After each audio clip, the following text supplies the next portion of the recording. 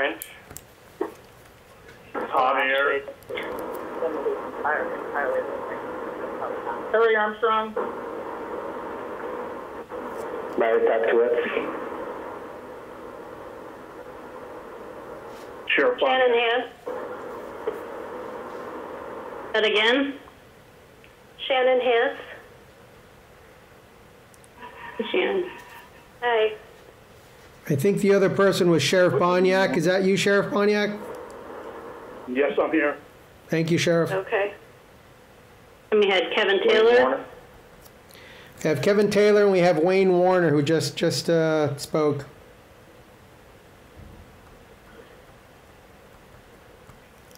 Is everybody on the phone? Uh, Cliff Rankin. We also have Melissa, Scalera. Bob Melissa's- Presti. yep.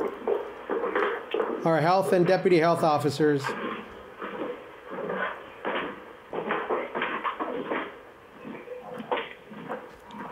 Okay.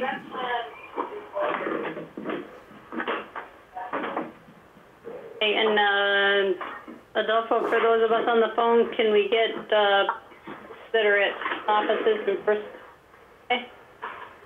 Sorry, Trina, what was that? It broke out a little. Can you tell us who's there in the town offices? Uh, yes, here uh, is me representing the select board, and we have a member from Orca Media, Wayne Fisher. Wayne Fisher. Okay. Okay, Is Dave Crosby So, in on this? Uh, Dave from the Herald was notified, but uh, he has not identified himself and may not be on the call. Okay. Thanks.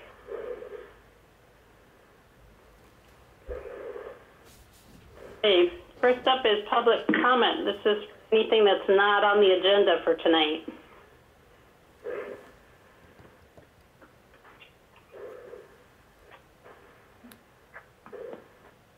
Hearing none, uh, move on to approval of the agenda.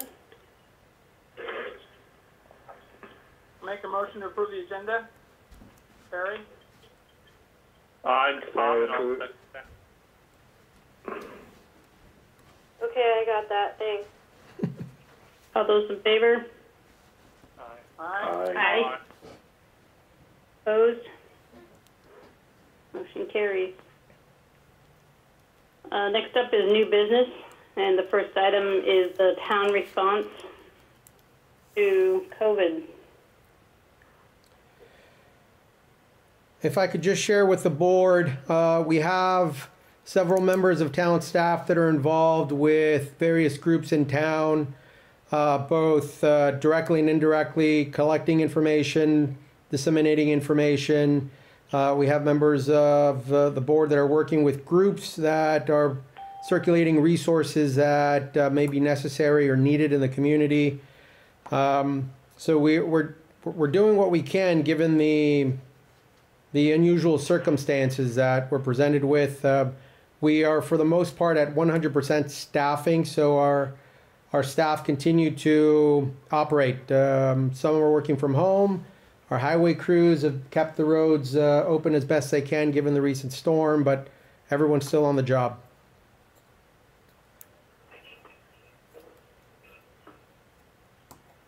Great. Are we having any uh, challenges getting anything that the town needs at this time? Not not the town necessarily. Um, we have heard from the sheriff's department. Uh, we have heard from our first responders about the need for personal protection equipment. Um, the same challenges that are being faced by medical professionals and public uh, safety officials nationwide. Um, we did circulate a request from from the state to our first responders asking if they need any PPEs. Uh, we have received a response from nearly everyone, and we will be submitting that request. Uh, we know that some of our fire departments have already secured some protective uh, personal equipment from local companies. So we, from what I was shared earlier today with one of our chiefs, is that we have sufficient to last us for at least uh, a month or two, maybe three. Uh, but otherwise, we're still working to have as uh, as much PPE equipment as needed, and we're, we're working with the sheriff's department to get them what they need. Can we um, translate for the fire departments what equipment, what they're covered for in terms of call numbers versus a month or two months? Only thinking that, you know, the volume of calls that they might see ebbs and flows. Yeah, I have not spoken to them about call volume, mostly just um, information on uh, uh, expected length of time, but I could coordinate with them. I can answer That would be good. Yep, Um, can so you what just we did, identify your? sure, this is Mi- Michael Hildebrand with the Randolph Village Fire Department. Oh, there's a new name. You didn't identify yourself. You guys were already talking, so. um, so what we did, what I did for the village is I estimated our average number of calls, um, and with the modification of our response to limiting the number of people who are coming in close contact with the public, I then times that out by the number of masks, gloves, and uh, other uh, disposable items that we would have. And we're looking at uh, deconning safety glasses, so we have eye protection, but we do have enough masks to, to last us, uh, if we hit an average number of calls, which is 10 per month, um, about two months' time. If we are less than that, it'll be three months. If it's more than that, we'll be closer to a month.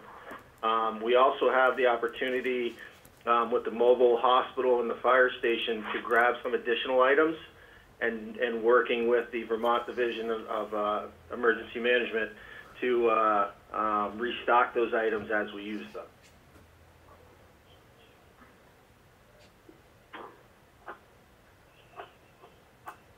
Okay. When you, uh, so some of the, have you talked with the health department about the, the risk benefit of the mask? Not specifically, uh, but I told them what I was doing and they did not uh, object. Okay. Kevin Taylor, any idea where East Randolph stands? Uh, yes, we have uh, been able to gather up uh, reasonable amount of equipment from area vendors and donations. Um, I don't I don't have it all worked out as well as Mike does, but um, we have enough to cover. I would say a month or so worth of our average calls. We don't get too many calls anyway, but the three stations got together to talk about it because as people get more sick and what have you, we're going to have to adjust our response, be it mutual aid or, you know, other kinds of things. So, uh, I think we're trying, we're doing our best to stay ahead of it. Okay, thanks. Um, Sheriff Bohnyak, we see a request to change, uh, call, to change coverage because of call rates. And this is one of the pieces that was predicted when the, uh, quarantine started coming down. You know, we kind of probably not joke, we did, we joked about it, that, you know, what we were gonna see is a baby boom in December, but the alternative to that is we're going to see a higher percentage of domestic violence and things going on.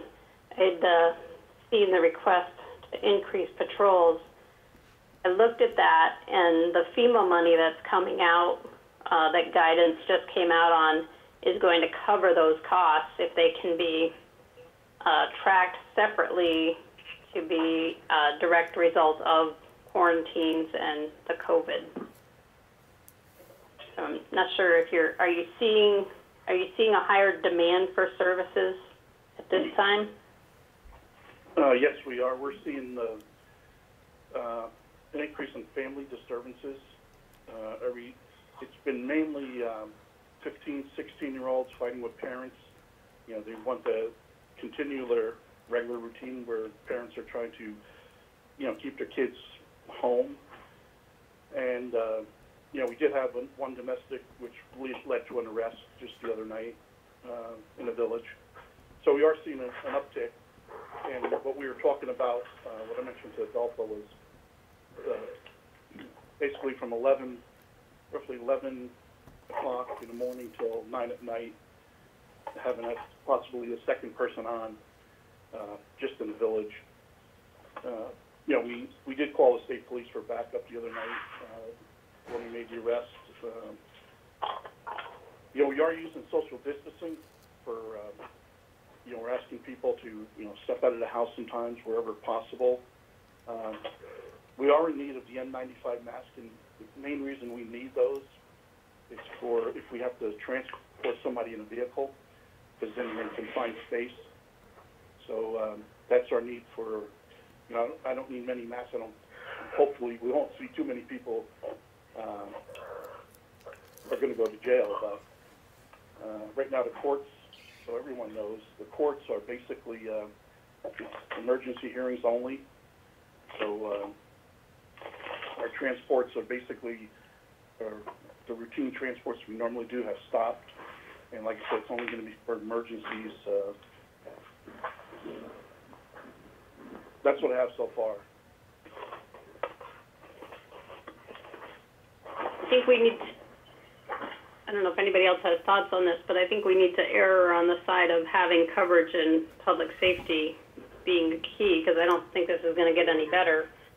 Uh, and the, you know, I think we can tie this directly to quarantines and now the governor's announcement that came out just as we were coming on this call is calling for basically anybody that's not essential to quit their activities outside the home.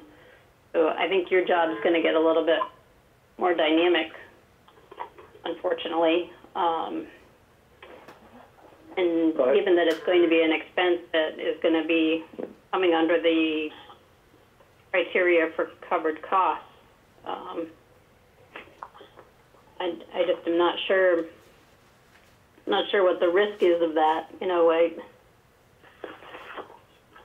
you know, at some point, can't imagine every cost that we can come up with is going to be covered, but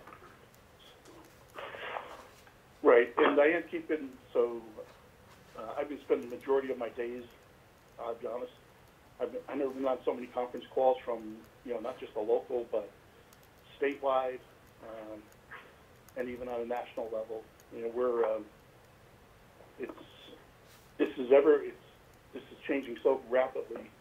You know, just in a few days, we went from, uh, uh, a few people infected, now we're up to ninety-five. I got and I have one person who we're waiting to hear. So I may I may be losing one deputy. We're waiting to hear if um, his wife was exposed by a doctor. So uh, over in Dartmouth. So we uh, waiting to hear if uh, she's positive or not, and he may go under 14-day quarantine. So it's it's everybody. You know, we just need to be you know, that social distancing, that's a, that's the biggest thing right now, you know, and the basic hygiene stuff. Uh, we all need to just work together and put our heads together. Uh, and, you know, we could play this by, you know, if it, if it gets worse, then I can see, you know, saying yes to, the- to the, to the select board members and Adolfo, yes, it's time to put that second person in place.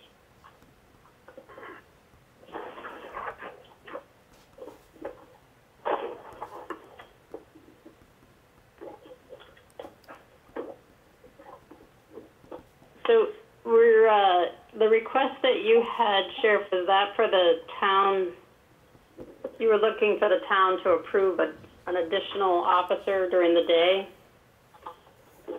It was uh, roughly, what we're looking at the uh, 11 a.m. to 9 p.m. and it'd be uh, Wednesday, Thursday, Friday, and Saturday. Those seem to be our highest call volume days.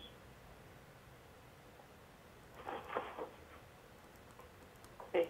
Can you just put together what it is that you would like and, um, just a rough cost on that and submit it up to Adolfo and then we can send it out to the board and we can um, Absolutely. evaluate? so we know kind of what we're getting into. Right. Okay. Um,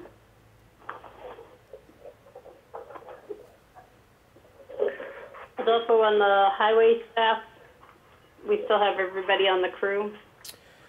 We have everyone except one person, um, and they uh, chose to accept. Um, they were already on a one-week vacation.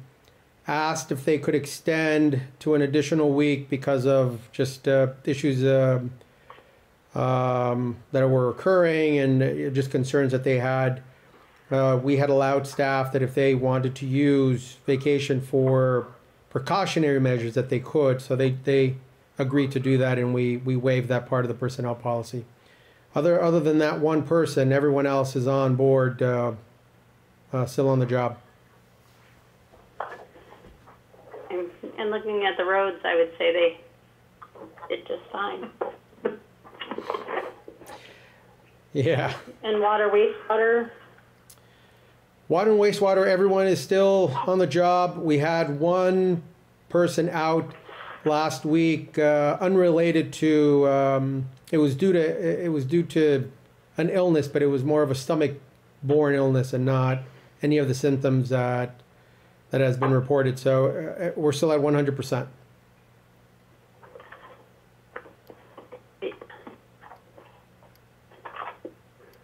right? Um, anybody have any other parts of town operations that they have concerns with?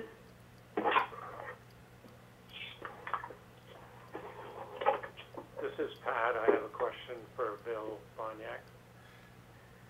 Bill, you say that uh, what you're talking about could be in the future. You're not seeing that as an issue yet, having the second person on? We just recently, in the past week, noticed the increase in calls. Uh, That's why, uh, with my, with my supervisors, we discussed this and figured bring it to your attention now than, than wait. So, uh, like I said, we could, you know, keep an eye on this, and if it, if it starts getting overwhelming, then let's put it in place. Yeah, that's what I thought you meant. Thank you.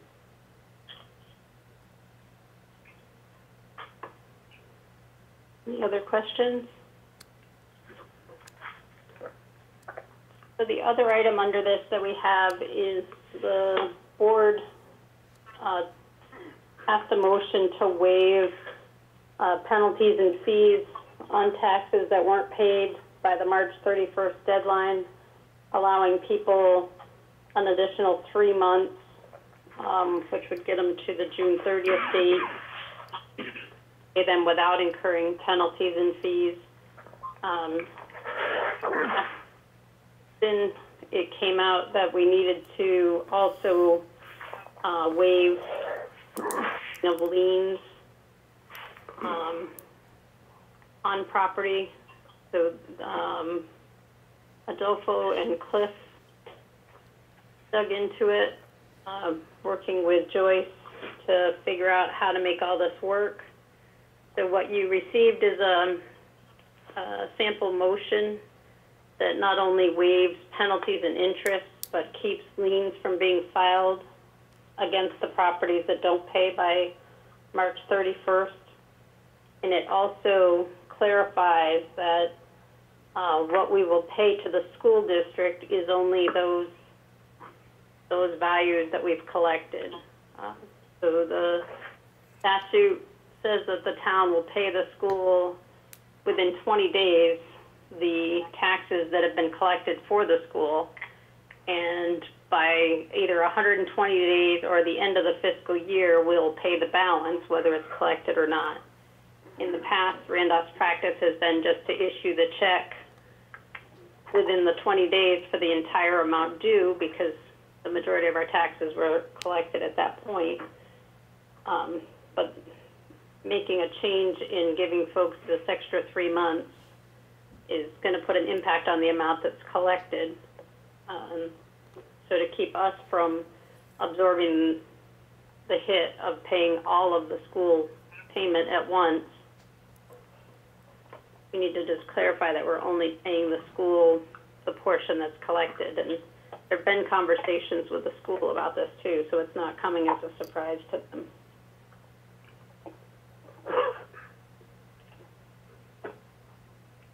Any thoughts on that? Um, I just have a question about, um, this is Tom, um, the clause or the, the, the sentence that talks about with the remaining balance to be paid within one hundred and twenty days from the due date. So that gives them an, that gives us an additional thirty days beyond the ninety day extension. Is that, uh, am I reading that correctly? So that's a state statute that the Oh, town has right. to pay the balance due within 120 days to the school, whether we've collected it or not. I see.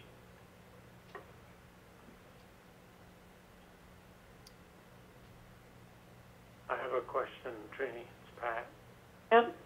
Um, it looks like we've changed the intent a little bit, because I thought the original intent was to just delay penalties and interest on fiscal year 2020 taxes.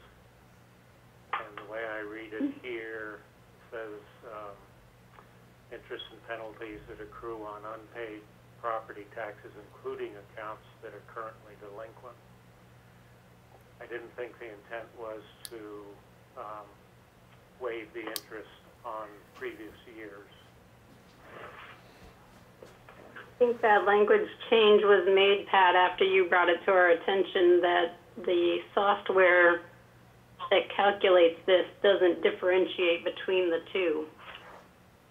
Well, it So the problem is that payments for 2020, but you, I think you can still do it. You, you don't have to um, forego the interest on previous ones. Say if somebody owes money from a year or two ago, they've already been charged the penalty, and they get interest added every month.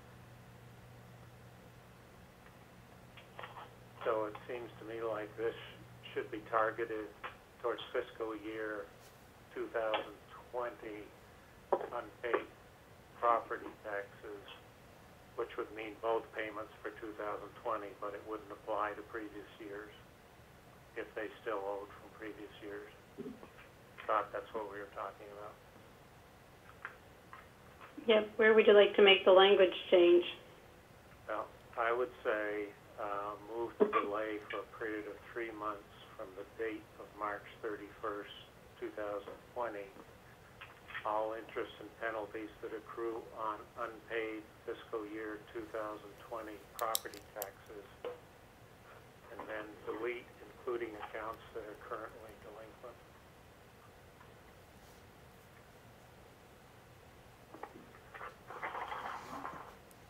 And I thought that was in our, as our intent to, to do it for both payments in two thousand twenty, but not previous year.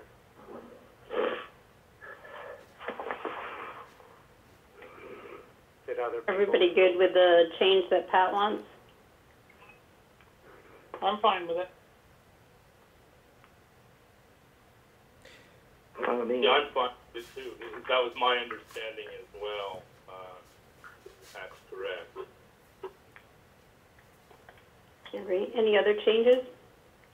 There is, uh, if I, if I could add one change, uh, just in double checking our citations, um, on sentence, in the second paragraph, sentence four at the end, that leads into sentence five, it cites thirty-two VSA one thirty-three. Uh, the change would be thirty-two VSA four seven nine three.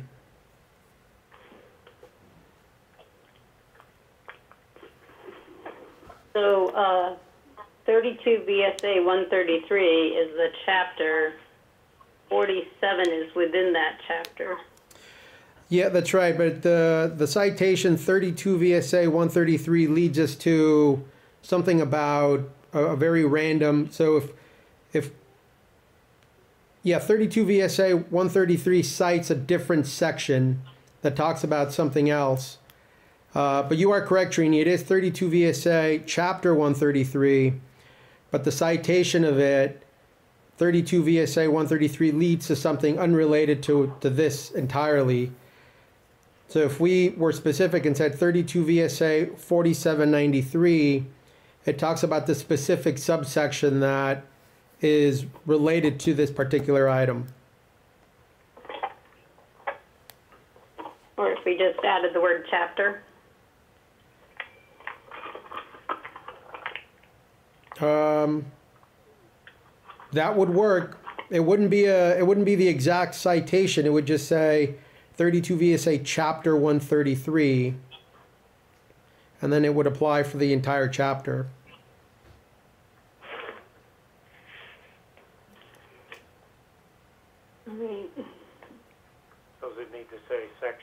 4793. Yeah, that's what I'm not clear on. So if you cite a law and you do 32, that's your title via of Vermont statutes annotated. 133 would be your your first section would be so it's probably in chapter one. And what we're saying is the part we want, the part that deals with all this is chapter 133. And it that has all the laws. Within there is is little subsections that deal with you know the definition of stuff and you know, liens, filing process, notification, all that. And what Adolfo's saying is within that, we either need to add chapters to it so it is the entire chapter dealing with this that we're addressing, or we need to add the actual subsection in there, which is 4793. So could we, could we simply say VSA one thirty-three subsection forty-seven ninety-three? Or section Uh, forty-seven? you have to de- define it as the chapter before 133. Okay. Either we remove 133 and put 4793, or we add the word chapter after VSA.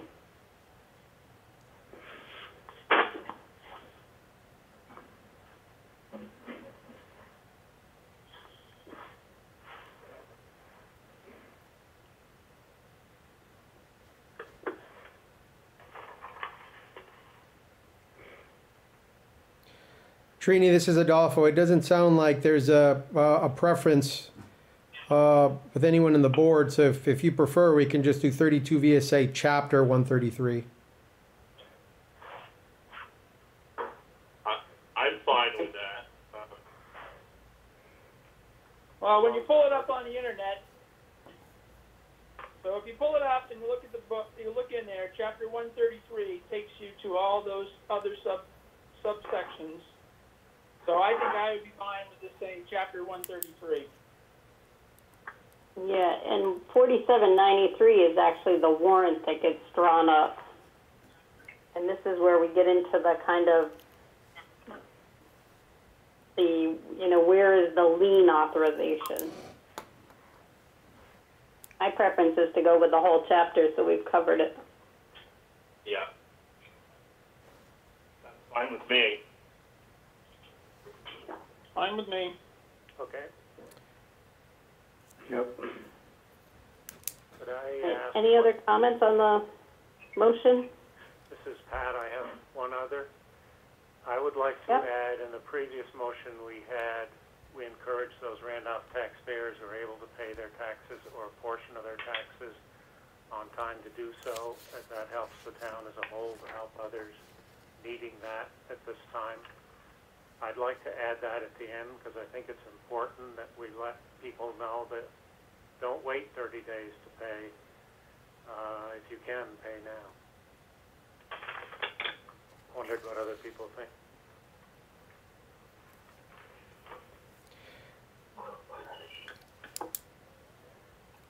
I'm fine I'm with fine with that. We- The motion, I, yeah. We've done a good job messaging that. Thanks, Larry. Um, well, I put that i- in as part of a um, proposed language for that front porch forum post, but I did not actually include that after Joyce's comments, but I can. I think it's important to message that. Yeah, I think so too. Okay. Well, after, after, for tomorrow's post, I'm going to um, include the language about the, the lien not, you know, also being included in our motion. And, um, and when I do that, I'll, I'll include this additional um, message. Sounds good. Yep.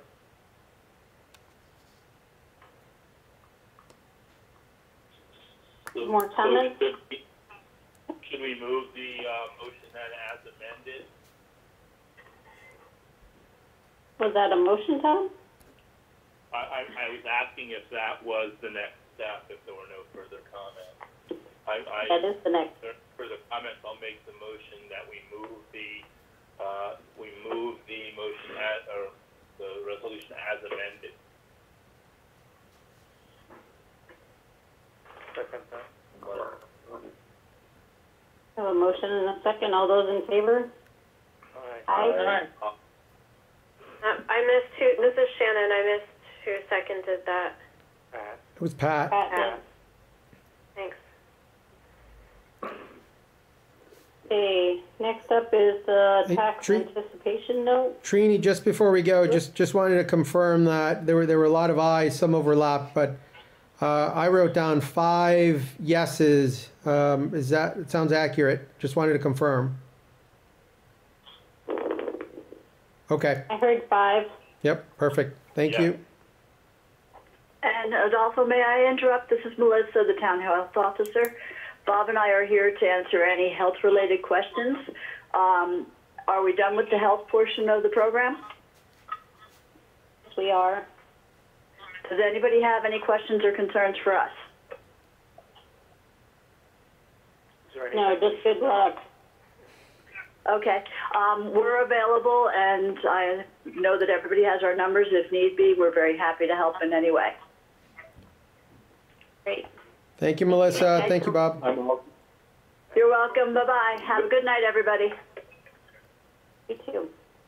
Thank you. Bye. Unless you've got something else for me, Adolfo, oh, I'm going to sign off. This is Wayne. Thank you, Wayne. Thanks, folks. Thanks, Wayne. Take care, Wayne. You're welcome. Actually, for any of the firemen that are on, we're just gonna talk about a tax anticipation note and then other business, old business, which I don't think we have anything under, so. Um, next up is the tax anticipation note. This is to authorize Joyce to go out and seek rates uh, and get a note in place in case we need it for day-to-day operations.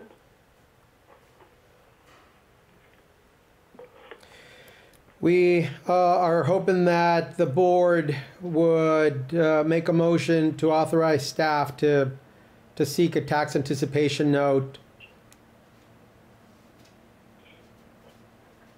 So usually with What's these, uh, it, it requires a, a board vote, and then there's like a resolution that we have to vote in after you select who you're gonna have the note with. I think all we can do tonight is authorize you to go out and get rates and who's interested, and then most of them have a very specific resolution that we have to adopt. That is correct, Trini. Uh, we, we did plan, uh, if the board authorizes us today to seek out a TAN, to bring all necessary paperwork uh, to the April select board meeting.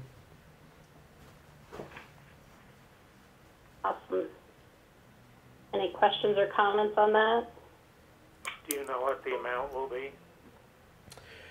Uh, I don't, but we have the opportunity, I believe, um, through the voters at town meeting to seek up to the total amount that we could, um, that we are anticipating through tax. Uh, I don't expect for us to, to seek that high of a tax anticipation note. Typically, it's in the vicinity of, of, of uh, $1 million, but even then, um, we only draw from it if necessary. Um, but we don't have an amount yet. Um, that's something I, I, I would uh, speak with Cliff and Joyce about when we when we seek the rates and what's out there. Thank you. So essentially, this is like a credit line, and you don't even know how much of it you might need. Uh, yeah, for the most part, it is. It's it's if we need we need to draw money for instances where we don't think people are going to pay taxes or something in this scenario. Right. Uh, it is it is almost like a line of credit, but not exactly a line of credit.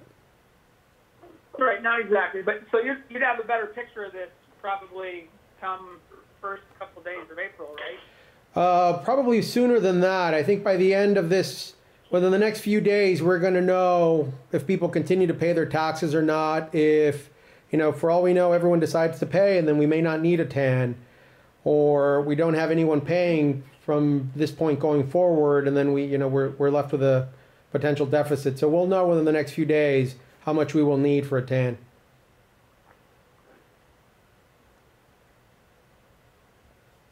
I think it's reasonable for you to go out to the banks for a line up to a million dollars, and then we can, uh, it can be narrowed in if need be. But again, it's, you know, you can have a million dollars and not borrow against it at all. Yeah. Correct. All right. So I make a motion that we uh, authorize Adolfo to work with Joyce to proceed with tax anticipation, a tax anticipation note to discuss, to determine what the rates might be.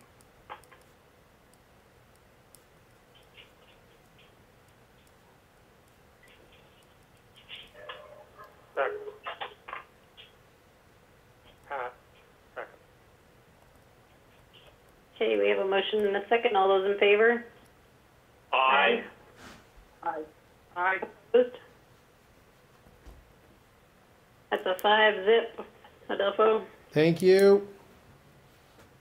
Uh, any old business, No old business, no. other business? None. No executive session?